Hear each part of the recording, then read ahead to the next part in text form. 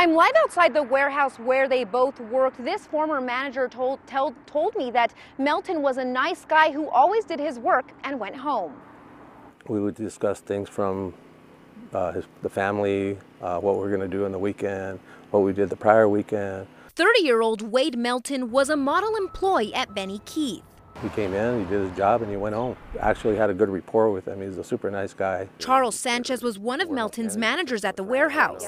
He says the 30-year-old never gave him any problems. Sanchez says he was shocked when he heard Melton shot three men on Monday night. Kind of floored, you know. I was thinking, I can't believe that guy did what he did, you know, because he never gave me that, that impression that he was even one-tenth near that, that uh, to get to that threshold. In the time that Sanchez worked at the Benny Keith warehouse, he was worried about security. At this place, it was just open.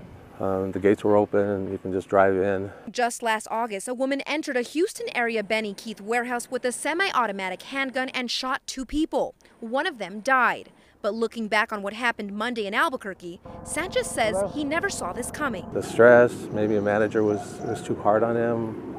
I, I just, just don't know. I'm really just kind of uh, set back by it.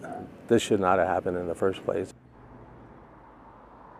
And we reached out to representatives with Ben E. Keith to ask them about security at this warehouse, but they did not return my calls. Reporting live in Albuquerque, Marissa Armas, KOAT Action 7.